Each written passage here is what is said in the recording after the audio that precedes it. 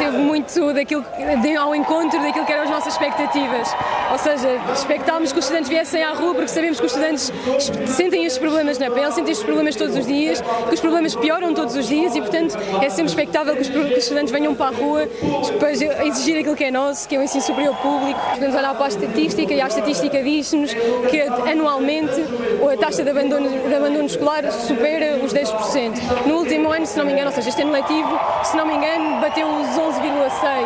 Quer dizer, eu acho que isto diz muito sobre aquilo que é ensino superior ao acesso e serviço de todos. Quer dizer, não está ao acesso e serviço de todos e não estamos todos no mesmo barco.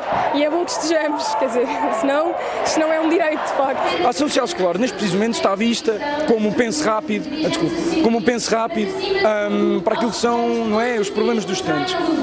Mas não devia ser assim, a ação social escolar devia aumentar, devia ser abrangida a todos, a, a, a mais estudantes, ou seja, estamos a falar de bolsas, estamos a falar até mesmo das próprias residências, deve haver mais financiamento para a ação social escolar, garantir que todos os estudantes são apoiados, consoante as suas próprias necessidades, e a ação social escolar não pode ser vista como este tapa-buracos uh, criado exatamente por causa desta barreira económica que é a propina.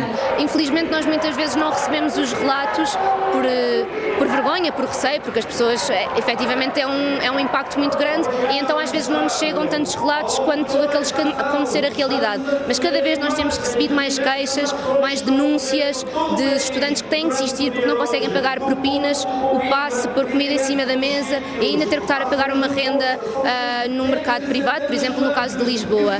Isto é muito preocupante, mas ainda dizia outro dia, uh, não são bem os números que importam, a meu ver, podia ser um estudante que nós estaríamos aqui sempre a lutar por um ensino superior ao acesso de todos.